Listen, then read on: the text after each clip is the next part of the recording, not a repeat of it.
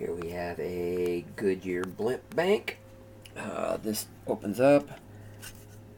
This is where you put your money in. The Bottoms opens up.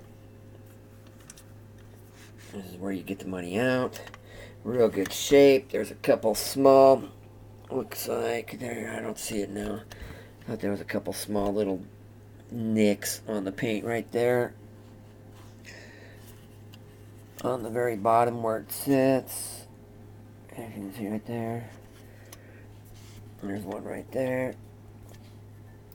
Bottom is marked limited edition, one of 2,500. Now I was told that these were only given out to employees. Oh, employees only could get them.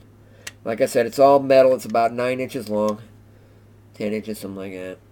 Real good shape. Like I said, it's, it is a piggy bank. Let me show you all the sides here so you can see. Like I said, there was one little nick. Other than that, real good shape. Pretty cool looking. Goodyear blimp bank. All metal. Limited edition is what's marked on the bottom. Thank you.